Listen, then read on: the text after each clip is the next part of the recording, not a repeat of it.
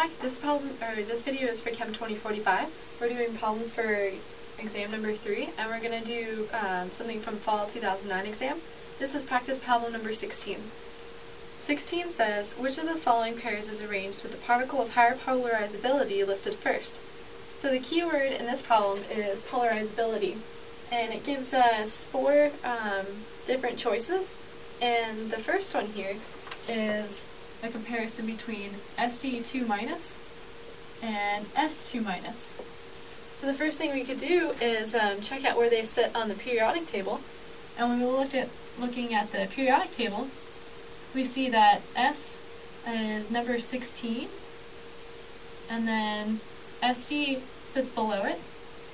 And we know from um, periodic trends that uh, as we move down the periodic table, size increases.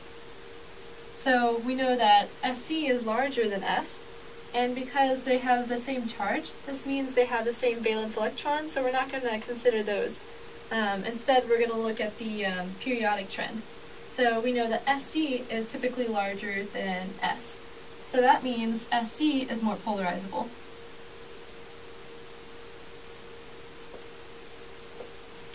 So Se is more polarizable than S. Um, that means we have answer choice 1 correct. Well, let's go ahead and do the other two parts. So this was part 1. Uh, part 2 says we have um, the parent atom I and I minus. So iodine and I minus. Now, uh, we can't compare this on the table, but another trend we know about polarizability is that anions are going to be more polarizable than the parent atom. And this is because we have iodine here. Um, we'll say it's this size, but if you throw an electron in here, then that atom has to take up an extra electron, and the cloud is going to get larger. So this here is I minus, for the added electron. So I minus is going to be larger than its parent atom, because it has the extra electron to deal with. So this one is false, because I minus is less than its parent atom. I mean, it's larger than its parent atom. More polarizable. So uh, part three says um, we have magnesium 2 plus and the parent atom magnesium. So if we compare magnesium and magnesium 2 plus, uh, we can do the same comparison over here. We have magnesium, which is say this size, and then um, the 2 plus charge means that we're taking away electrons. So we're removing two electrons. That means we'll be left with this positive um, molecule where its loss of its electrons, so its electron cloud is going to be smaller, and therefore the size will be smaller. So this is magnesium 2 plus. With it being smaller, that means it's less polarizable. So magnesium 2 plus is less polarizable than its parent atom because the atom is smaller.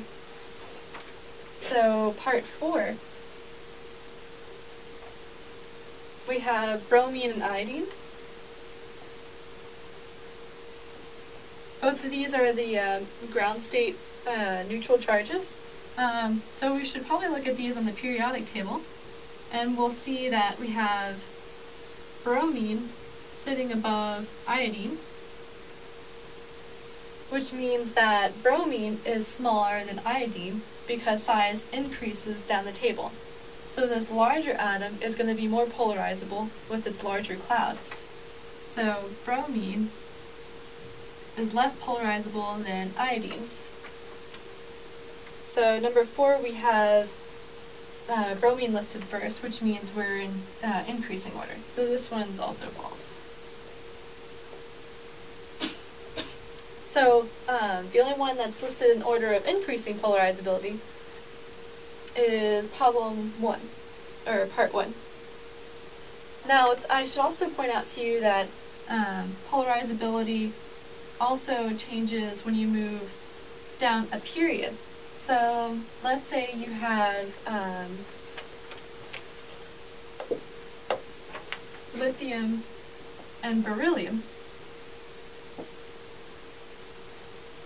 Beryllium has um, more protons than lithium um, and more electrons, but the effective uh, nuclear charge of beryllium is greater, so the electrons are going to be pulled tighter, so this is going to be smaller.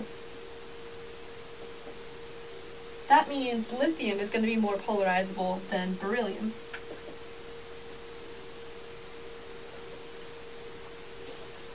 So um, from this problem, we know that we need to know the trends in polarizability of atoms.